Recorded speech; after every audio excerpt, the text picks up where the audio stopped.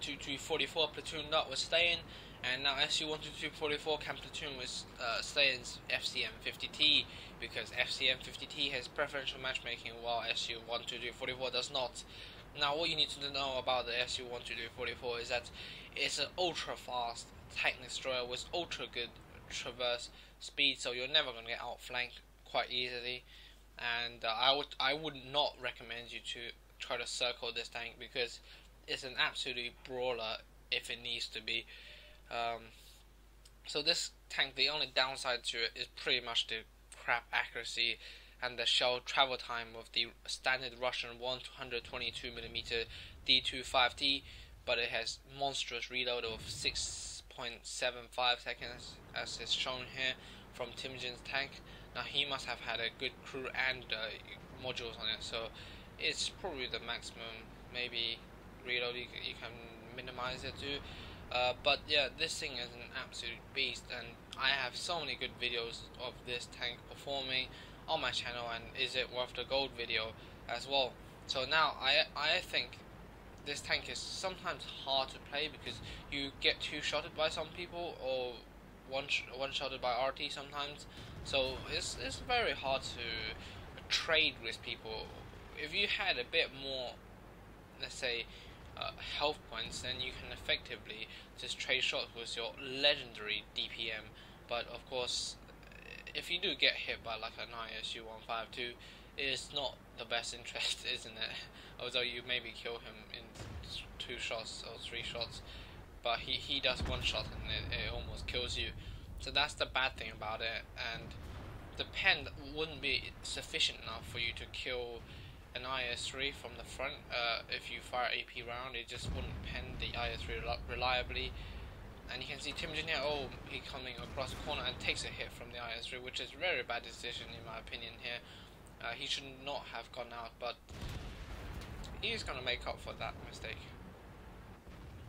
ISU stock, ISU gets nuked, and he shot at the right place, and I think here they should have just either rushed the IS-3, uh, yeah they should have, yeah, and here's the rush, but uh, in my opinion, again, Stayin should have gone right around him and not waited, so he can actually turn the turret of the IS-3 and set us, what am I talking about, Timjin tracks that IS-3, is IS-3 gonna put, plant a shot into the big IS, big FCM 50T side armor, IS-3 still can't connect, so Stayin here is doing a great job on doing on outplaying him, and you can see he puts another shot into the IS-3, making the IS-3 seem like a total retard of a player.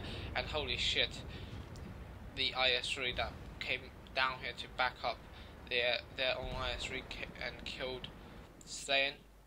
To be honest, if Stayin and the Temujin are watching now, I would say you two should have uh, actually gone into it and um, not uh, have waited it because uh, if Stayin turned the turn of the IS-3, it could have gave Temujin way better shots to to connect. And holy crap, Caernarvon, he's to so out damage the Caernarvon. But as you can see, the health point of the SU-122-44 is what makes it terrible. Uh, it's just quite hard to trade against people. Like now, you got 289. Would you go against the Tiger 2 now? You wouldn't try to do it.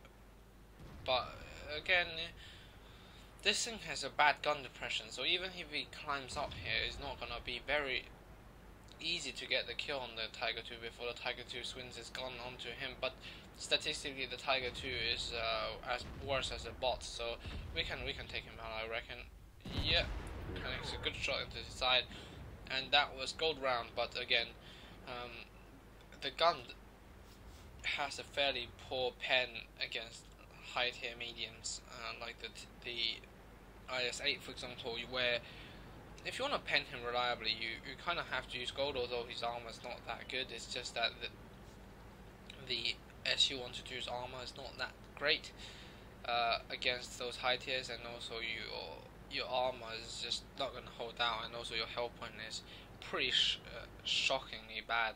But again, it's only a tier 7 TD, but then when you see tier 9s, it's kind of disappointing. So it, it gets both ways, and it's loaded HE for the Nashorn, I believe. But now it seems like um, yeah, protecting base is probably better because T-34-2 is gonna fall down there, and uh, probably G GW Panther and the M12 is not gonna help out the T-34-2 that much. So again, the RIS-3 was retarded to to run in front of all the enemy RTs, which is retarded.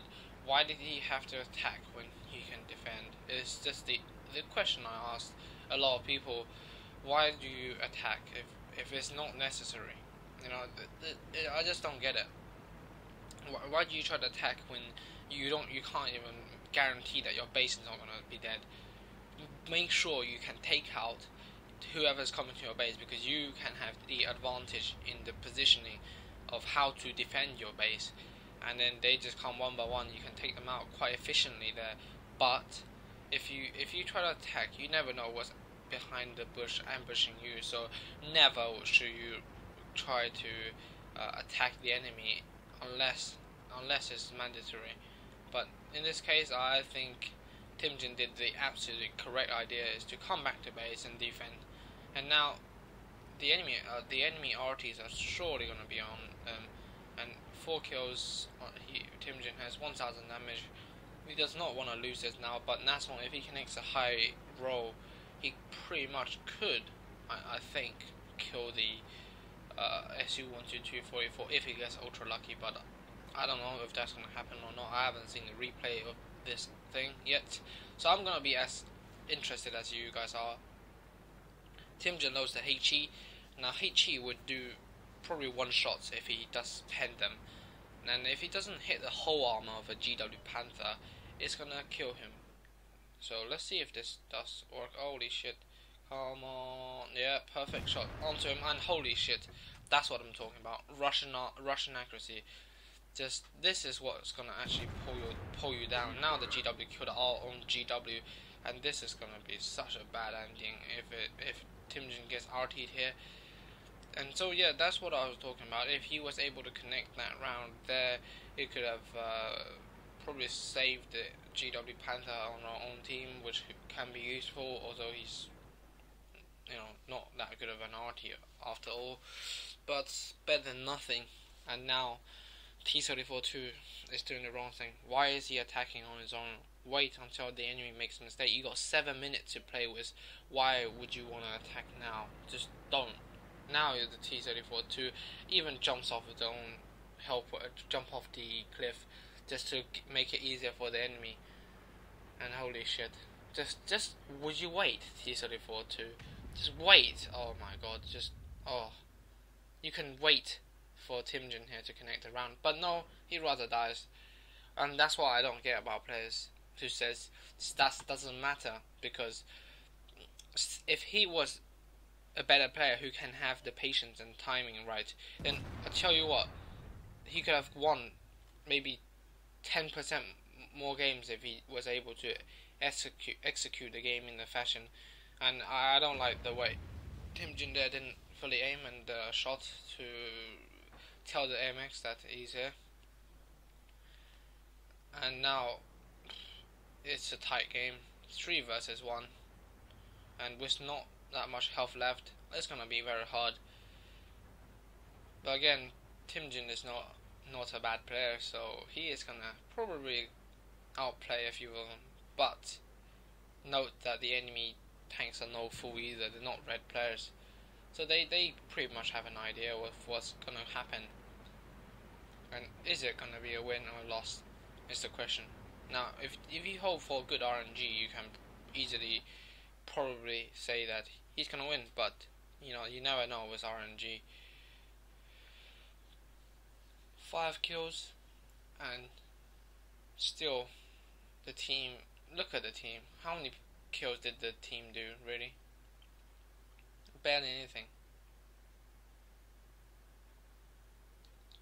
And now it's just a game of who's gonna make the first mistake. In my opinion, it's, it's, this is a time when you have a platoon mate who tells you what to do because your platoon mate is more chill than you are he can analyze the situation. Uh, he can predict what's going to happen better than you are, who is actually trying to concentrate to get the first shot off. So this is tense. And you see how the T-34s to throw the game away from a victory. He, he totally, totally made the worst mistake ever in this game. And holy shit, Timjin doesn't know how to drive now. yeah, now the RT spotted him, and yeah, Timjin is gonna die, I think, if he doesn't rush this AMX. But again, the enemy RT is probably zoomed onto this corner now, and if he gets bomb rushed now, there is absolutely no way to deal with this situation, and it's probably gonna be a loss. It's very unfortunate the AMX actually came around his ass. And now the, the AMX is not going to pop over here, I don't think, with his stats. He's not that stupid to pop out. So we'll see what he does, or what his teammate does. So back to what I was saying there. The T-34-2, why can't he just wait? Why? Just, just why can't he wait for a few more seconds uh, before he makes a move? And also he, had, he just had to make it easier for the enemy to kill him in one shot. Because, you know what? You have to just jump down the cliff and hurt yourself. He saw, he saw, oh, this RT can easily kill him. Well, does he not think that the RT can also kill him? It's just retardedness all the way, I think. Again, I, I, I, I just think so many players in this game doesn't know how to time the time the stuff right, and you know there's plenty of time to to to wait and play with. You don't you don't have to to suicide when there's seven minutes left. Now it's making it very tricky for Timjin to do this. Now I would what I would have done is probably just gone around down the ditch on along this line here. Probably let me show you the the the line here. Basically, I would drive here down here. Maybe that would be my plan, but again, uh, it's very hard to to predict what's gonna happen especially the route I told I just said might be covered up by the Nashorn. You never know. Now, if they start capping Timjin, he's screwed, really screwed. He's probably trying to find the an enemy RT so he can nuke him dead. But again, this it's not gonna happen to unless they will come at him and he gets all three kills to win this game. And I think the enemy's gonna cap anytime now. A draw and a loss is the same. So we'll see.